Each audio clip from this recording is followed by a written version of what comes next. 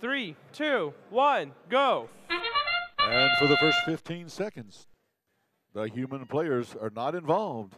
It's all in the programming. See how well they work. 63 40 and 60 23, gaining 12 points for their alliance by docking and engaging. The two bots that moved out for the Red Alliance gained three points. 80 80 gained three points as well. As it's 30 to 25 coming out of Autonomous with, oh, a little over two minutes of action left. The first 15 seconds is programmed by the human players.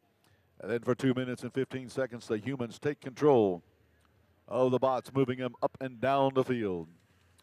There goes 92 93, jumping across the border, picking up one of those power cubes as their alliance partner scores on the high metal pole. Kind of like those poles you see on the side of the road, those big old tall metal structures. Place it on top of that, that gets you five points. Placing it in the middle row gets you three. And if you can just drop it down on the ground there in the low row, you get two points. That's 63 40. Placing it high atop that tower for another five points on the Red Alliance as it's 63 to 41, 80 80. The Sequoia Robotics team dances around trying to score that cube in the low row. It bounces around. It can only be in one node at a time. But if they can get three side by side, either low in the middle or high, they will form a link in their community's power grid, giving them five points.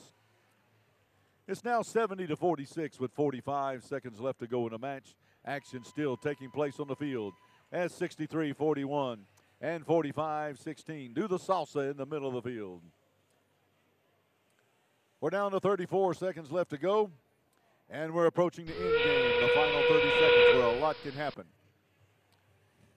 63 41 jumping up onto the charging station. They're docked and they're engaged, which means that they're plugged into the community, starting the flow of electrons as 60 23 tries to squeeze in between 80 80, trying to gain an additional 10 points. For the Blue Alliance, a 60 23, trying to climb up. They're going to try to dock and get level. They're still trying to maintain a level condition.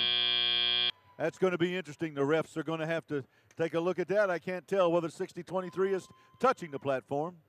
If they had been touching the platform, they would not be credited with being engaged.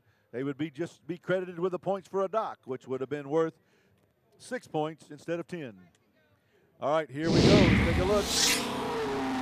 The F1 leaves off with the Red Alliance and a 107 to 66 victory. The Red Alliance was able to charge their power grid significantly more than the Blue Alliance right there, as they both gained a ranking point for gaining more than 26 points in, in uh, the charge station.